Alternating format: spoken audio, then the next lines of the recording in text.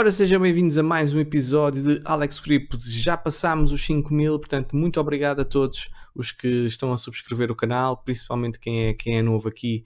Um, agradeço o voto de confiança e vamos continuar a crescer. O objetivo é esse. Portanto, muito obrigado. Hoje vamos falar um bocadinho sobre a Bitcoin, fazer uma atualização do mercado. Eu não ando com muito tempo, é uma semana de, de, de, de reuniões de avaliação nas escolas e, e, e, é muito, muito, muito trabalho. Portanto, é uma parte em que os professores estão mesmo, mesmo, mesmo a bombar nesta altura. Portanto, para a semana, se, se correr bem, já terei mais algum tempo, farei vídeos mais regulares. Um, portanto, mas para já é o que se pode arranjar, tá? é o que se pode arranjar. Portanto, um, vamos então avançar e falar um pouco sobre on-chain data e também sobre análise técnica. Mas antes disso, quero partilhar contigo uh, o que eu estou aqui a fazer na Bing Bon, que eu estou a copiar um trader que se chama Luxury, Luxury, acho que é assim, uh, porque eu ando mesmo com pouco tempo para fazer trading.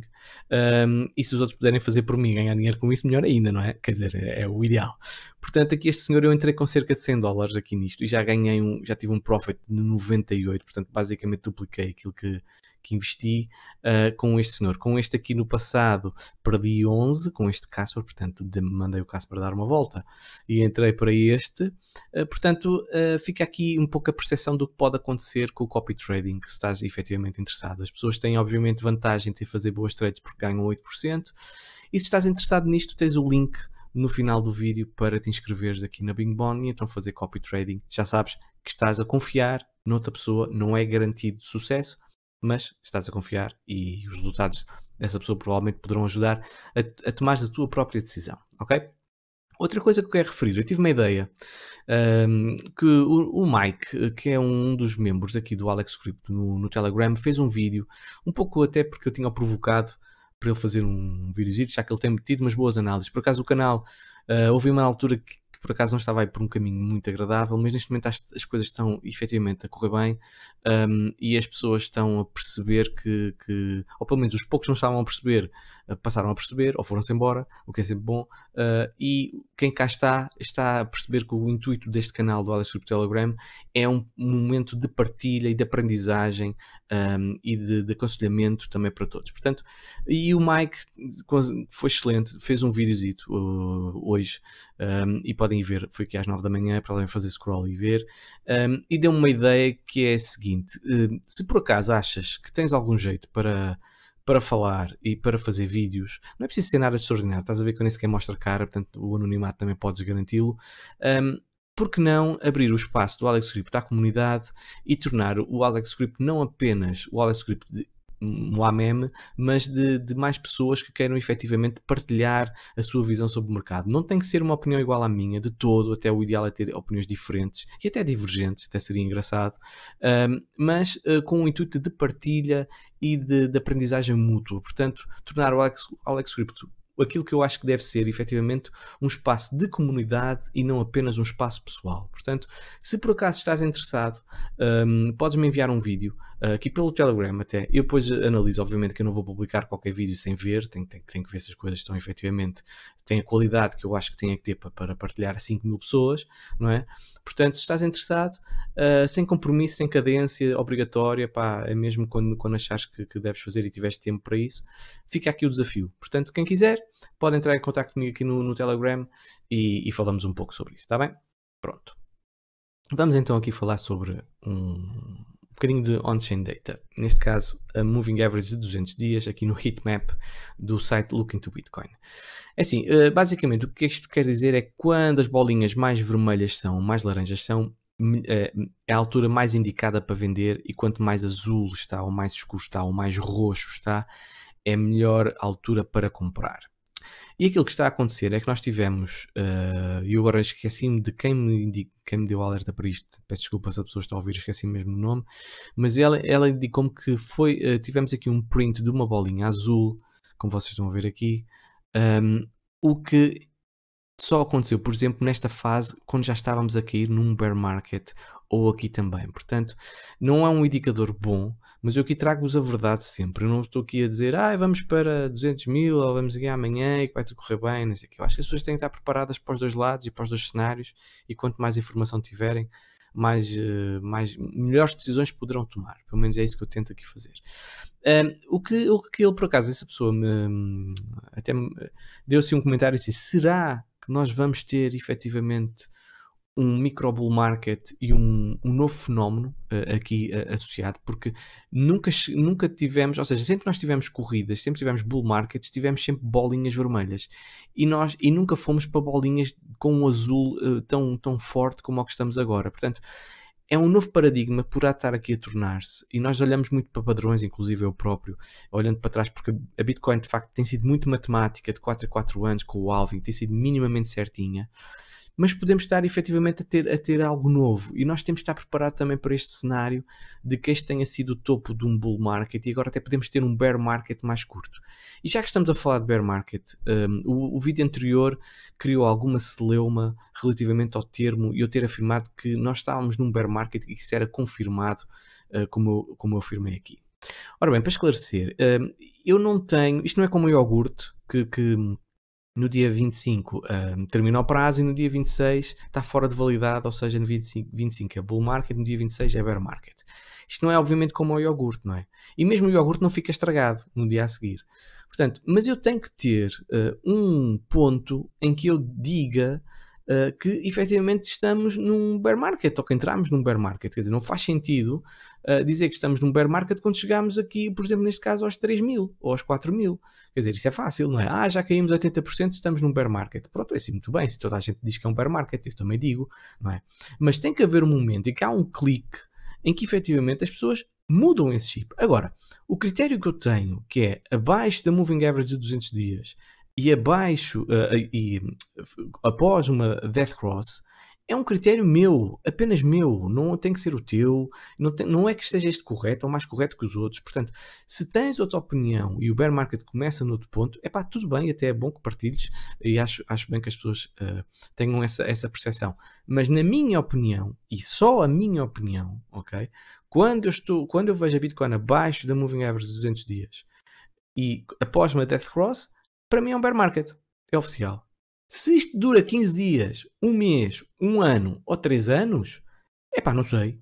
Mas a partir do momento que ela passa para cima das 200 dias, uh, já digo que já, já, o bear market para mim já acabou. Ok? Portanto, tem que ser estes dois parâmetros: Death Cross e abaixo dos 200 dias.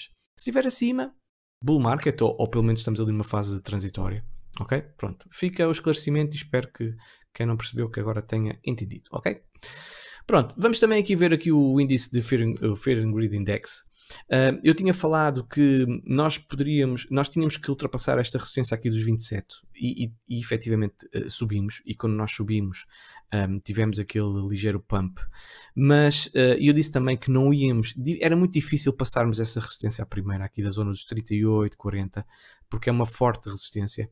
E, e efetivamente foi isso que aconteceu. Nós fomos rejeitados. Agora, aquilo que me surpreendeu um, ou não, depende se efetivamente estamos num bear market, se calhar não surpreende assim tanto, mas uh, o que foi é que nós não fizemos nenhum suporte, tivemos um breakout isto foi para mim um fake out. Viemos logo imediatamente ao, ao, ao, ao ponto 10, uh, ah, novamente que foi a base aqui desta estrutura que aqui estão a ver, e agora estamos outra vez a lutar para conseguir ultrapassar esta resistência. Portanto, o mercado uh, está muito indeciso.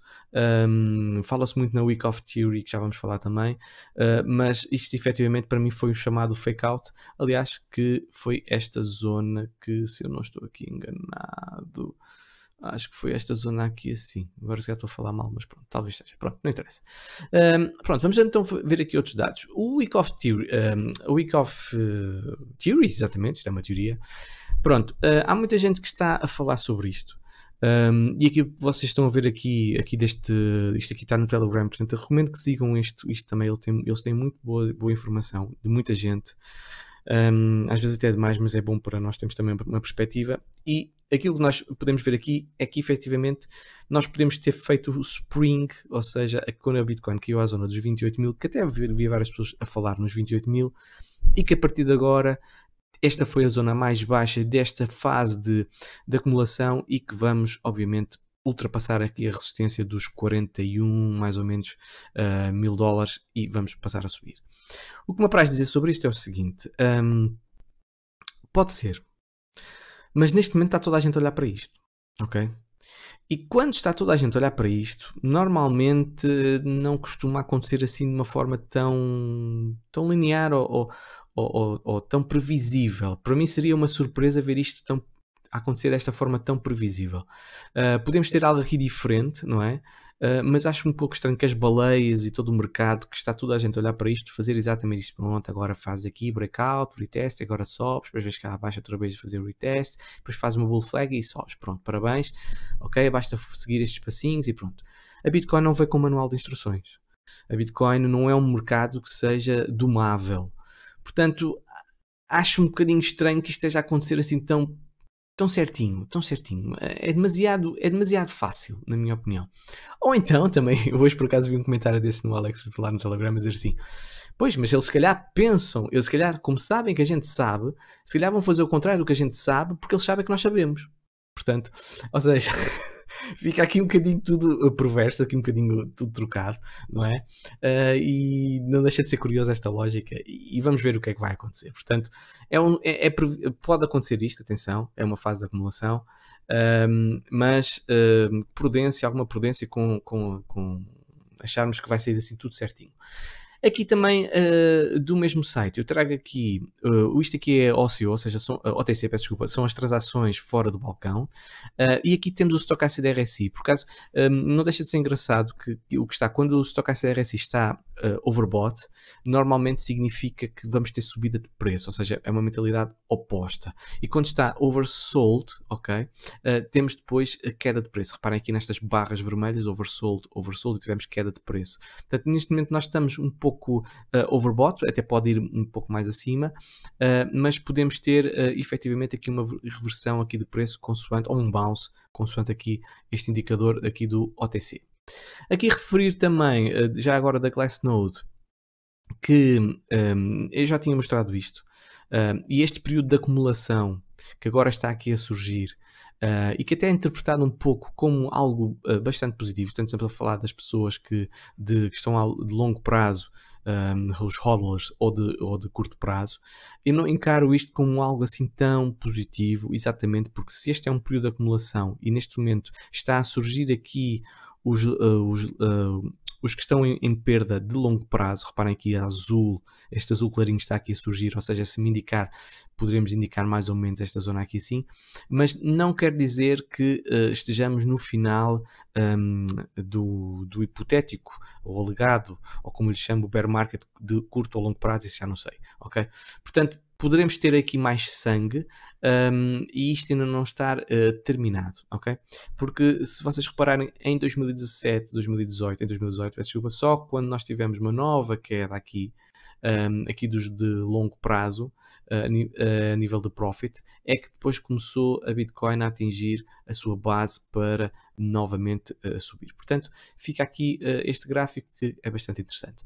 E aqui de referir que o que tem levado grande parte à queda do mercado, um, além das notícias, essas coisas todas, é obviamente uma coisa só é a venda. Portanto, o preço cai porque há mais gente a vender do que a comprar. E isto é factual. Não há nada, nem ninguém que possa dizer o contrário, ok? E o que nós assistimos é que nos últimos, uh, nos últimos tempos, uh, reparem aqui, aqui são as pessoas de um dia, uma semana, um, uma semana, um mês, um mês, três meses, os, os titulares das moedas, que têm moeda há três meses, seis meses, seis meses, doze meses. O que nós temos assistido é efetivamente um aumento um, das pessoas que estão a vender um, as moedas. Portanto, pessoas até 6 meses, 12 meses, principalmente aqui 3, 6 meses, 3, 6 meses, reparem aqui, aqui nem tanto, mas 3, 6 meses são as pessoas que mais têm vendido uh, a Bitcoin. Portanto, são pessoas que entraram recentemente no mercado, reparem aqui uh, também, uh, e assustaram-se com a queda e despacharam porque provavelmente começaram a perder e com receio de um bear market mais agressivo de 70, 80, 90% e ficaram com receio de, de, de perder um, ou, ou, de, ou, já lucro já não têm, não é? Mas uh, tentar proteger o seu capital, o que também é legítimo. Portanto, aquilo que nós estamos a assistir é efetivamente uma venda das pessoas mais novas no mercado e quem está há mais tempo, prova uh, provavelmente não, até está a aumentar, como nós vimos há pouco, o, e vamos ver de seguida também, uh, o número de Bitcoin. Um indicador muito importante para mim é o hash rate. Uh, o hash rate por norma, não é que seja linear, mas por norma, quando tem uma tendência ascendente, o preço também o segue. E nós, neste momento, uh, temos claramente uma tendência de descida bem vincada. Até nós estabilizarmos esta queda e voltarmos a ganhar alguma consistência de subida, como vocês estão a ver aqui, um, para mim continuamos em queda e, e, e, é sempre perigoso. Ou melhor, a probabilidade de queda é maior do que a probabilidade de subida. Ele neste momento está numa zona de junho, setembro de 2020 seria muito importante neste momento estabilizar o hash rate aqui. Portanto, uh, podem acompanhar, um, há, há, sites que acompanham o hash rate e podem acompanhar como é que nós estamos, se estamos a estabilizar ou, ou continuamos a cair. E, e, para ver se é uma tendência de descida, não é, não é segredo nenhum, é ver se temos altos mais baixos e baixos mais baixos. Portanto, basicamente é ver isso. Uh, e ver se estamos a começar a estabilizar uh, e não a continuar a cair, ok? Pronto, e também aqui referir que os mineradores eu já tinha referido, nós andávamos, os mineradores andavam a acumular, mas depois, provavelmente, daquelas notícias da China em que eles foram expulsos, uh, ou melhor, expulsos não foram, as suas, as suas, uh, as suas zonas de mineração foram fechadas e eles tiveram que sair para, para outros países, um, como El Salvador, fala-se El Salvador, fala-se no Texas.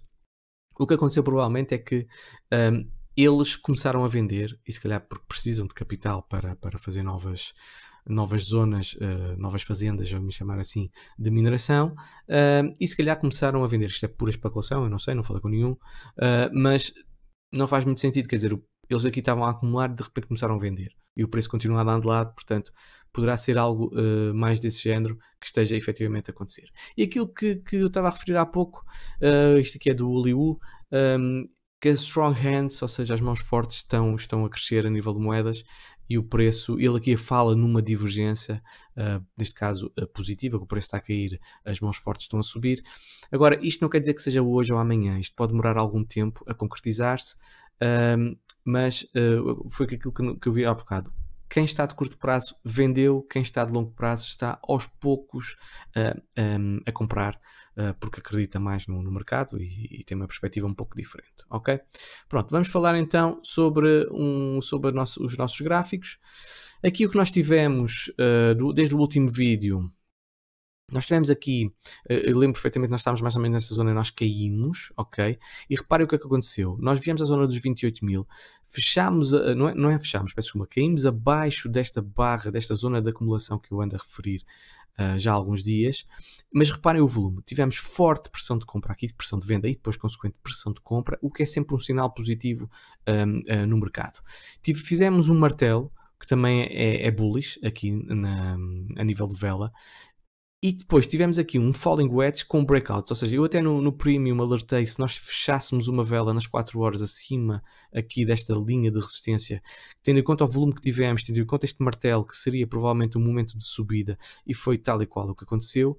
Uh, mas nós agora estamos com alguma dificuldade um, em ultrapassar esta primeira resistência. Reparem os raios aqui de pressão de venda logo que surgiram positivo fizemos suporte nesta zona onde foi o breakout, portanto o que é bom, mas reparem, uh, há bocado nas últimas 4 horas, da 1 às, às 5, tivemos uma vela também a mostrar rejeição, vamos ver se ela é válida ou não, mas eu acho que o grande desafio para a Bitcoin vai ser esta zona vai ser aqui a zona dos 35, 36. Eu não estou a comemorar até nós passarmos isto, e mesmo assim comemorar já é relativo. Ou seja, a Bitcoin tem que provar que efetivamente não está um, num, apenas num, num período de consolidação e para nova queda.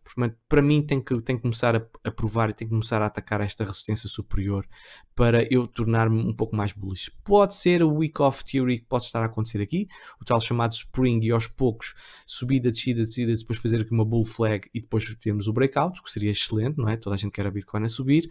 Mas para já, muita prudência uh, para aquilo que está a acontecer uh, no mercado. Portanto, se olharmos numa perspectiva diária, um, ao nível dos indicadores, isto tem bom aspecto. O Stochastic DRSI que está claramente a entrar aqui na zona roxa, o que me, dá, o que me, o que me agrada. Aqui eu quero ver aqui convicção. Estamos a chegar aqui a uma zona de resistência do CCI EMA e, e, quando nós chegamos às vezes a estas zonas somos rejeitados uh, como por exemplo aqui fizemos suporte uh, e podemos, pode acontecer o oposto mas temos que quebrar esta, essa linha também o RSI tem espaço para subir ou para descer mas eu gostaria de ver sinceramente uma vela neste caso mais vermelha, uh, mas que, a fazer um, um, baixo mais alto. Ou seja, isto até pode ser uma, uma. Lá está o meu telemóvel outra vez a tocar. Eu sei que vocês muito se riram com o meu toque telemóvel do kit, uh, mas pronto, não é que eu tenha visto a série muitas vezes, mas achei-lhe graça ao toque. Uh, portanto, já começa a ser um clássico. Uh, portanto, aqui o que eu estava a dizer, nós temos aqui por um lado temos três velas verdes, o que é, o que é bullish, atenção, três, três velas verdes, mas também ao mesmo tempo isto também pode ser uma bear flag. Ou seja, reparem aqui o, o pau e depois aqui a flag e depois caímos outra vez. Portanto, há muitas dúvidas aqui no ar. Eu gostava de ver mais volume, nós estamos a perder volume, o que me deixa um pouco preocupado. Reparem aqui assim. Um, é mesmo na expectativa. Isto para mim já é quase 50-50. Uh, ah, eu não arrisco, não arrisco. Se estão à espera de me ouvir, ah, vai subir ou vai descer, epá, não arrisco neste momento. Um, há muitos sinais de contra e a tendência é descida. Portanto, muita prudência. A Bitcoin tem que me provar que efetivamente está, ou melhor, os bulls têm que provar que querem, querem a Bitcoin a subir e, e, e que nós não vamos uh, voltar a cair. Portanto, aqui na, nas três dias ou na semanal, um, na semanal, numa perspectiva mais macro, isto foi bom, forte pressão de compra aqui assim. Uh, vamos ver se num curto prazo uh, temos essa conquista uh, e este. Vamos ver como é que a, semana fecha, ainda faltam muitos dias para, para, para, esta, para esta vela acabar. mas se acabar assim, não é uma vela má. Também, vou ser sincero, não é uma vela má. Ok? Pronto, vamos falar um pouco de Ethereum. Um, Ethereum veio aqui na, na, na diária veio exatamente àquele ponto que eu já tinha referido, aqui do suporte, onde está aqui esta barra verde. Uh, tal como Bitcoin, neste momento tem que me provar que nós paramos a descida. E para nós pararmos esta descida, a primeira coisa que ele tem que fazer é que quebrar-me aqui esta linha de resistência, aqui como vocês estão a ver aqui, uh, diagonal, uh, para efetivamente mostrar que, que, que, isto aqui é uma base e não uma tendência de descida, apenas com tipo uma bola de ping-pong a voltar a cair. Portanto, vamos ficar aqui atentos a esta linha e ver o que, o que vai um, acontecer. No, no par BTC, o que tem trabalhei aqui um pouco mais aqui o gráfico. Um, nós caímos exatamente onde eu tinha referido. Lembram-se que eu tinha falado que tínhamos sido aqui rejeitados, depois viemos aqui novamente e eu disse que era muito pouco provável não virmos a esta zona aqui verde um, e exatamente é o que está a acontecer. Nós, nós estamos a vir exatamente à zona verde, à barra, à barra verde aqui, que também tocar aqui nesta linha de suporte diagonal que já, já vem de há muito tempo. Um, agora, se nós terminamos sinceramente acho que não. Acho que não. Até podemos ter um bounce, até podemos ter um bounce aqui. Uh, e mais uma vez tenho aqui esta linha amarela também para mostrar se efetivamente nós vamos ter um bounce.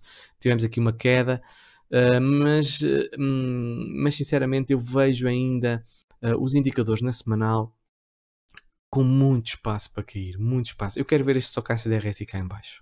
E quando eu vir este stocastic RSI cá em baixo, e quando vir o RSI provavelmente mais cá em baixo, e quando vir aqui estes indicadores aproximarem-se, eh, eu vou estarei mais otimista. Até porque se nós olharmos para um Fibonacci, um, ehm, reparem que a zona aqui dos 50% é no 0055 e a zona dos 61%, que pode perfeitamente ir aqui, que é até a Golden Zone, reparem, temos aqui suporte também, é nos 0049. Não será bom uh, para, para Ethereum no par BTC quebrar esta zona, até porque vamos perder este suporte que, é um, um, suporte aqui vincado e que foi uma resistência aqui anteriormente, mas uh, não estou muito otimista, confesso, tendo em conta a pressão ainda de, de, venda que me parece aqui na semanal. Ou seja, não é uma, não é uma análise de um dia ou dois ou três, estamos a falar nas próximas uh, semanas. Posso estar enganado uh, e, e, e me conquistar a BTC. Algo que também me, me indica que nós poderemos estar ainda com um certo sofrimento a parte das altcoins. É que nós uh, perdemos efetivamente este suporte que eu já tinha aqui traçado, esta linha amarela, como vocês estão a ver, é mais visível aqui, uh, até acho que é na semanal. Estou a saltar muito depressa, peço desculpa. Uh, aqui assim, como vocês estão a ver aqui, fizemos aqui suporte e a seguir tivemos uma queda imediata. Portanto, isto é claramente uma, um, algo, algo negativo. Uh, e o que eu trago aqui para também vos mostrar é que nós podemos estar a fazer um bearish retest aqui assim esta zona, ou seja, ter uma subida momentânea por parte das altcoins e até temos momento de subida aqui na diária e o RSI também. Uh, isto aqui não me chocava nada de vermos uma subida, uh, mas depois voltamos aqui. Estas linhas amarelo, uh, brancas, peço desculpa, que aqui estão, reparam, uh, mostram a aceleração da queda. Ou seja, nós tivemos aqui uma queda, mas depois uma clara aceleração. Portanto, primeira coisa é que nós temos que quebrar também esta linha branca para começar a estabilizar isto. Portanto, isto apenas, podes vir aqui tocar e depois vir aqui novamente à zona verde, que eu acho que é onde ela irá um, mais dia, menos dia. Eu acho que ela irá aqui uh, a esta zona verde por volta dos 50%. Uh, depois de uma subida tão agressiva, reparem, foram tantas semanas a subir, ficarei surpreendido se nós pararmos só por aqui. Eu acho que nós vamos mais abaixo, mas pronto, uh, até porque já perdemos este suporte diagonal um, que aqui está. Ok? Uh, e pronto, ok. Vemo-nos então no, no, próximo episódio. Já sabes, se gostas daqui do, do que está a acontecer, uh, subscreve o canal. fica o desafio lançado, comenta que é para depois habilitar-te aos 100 dólares, que, que, que eu, 100 euros, peço desculpa, que atribuo sempre que chegamos a esse valor. E vemo-nos no próximo episódio. Ok? Forte abraço.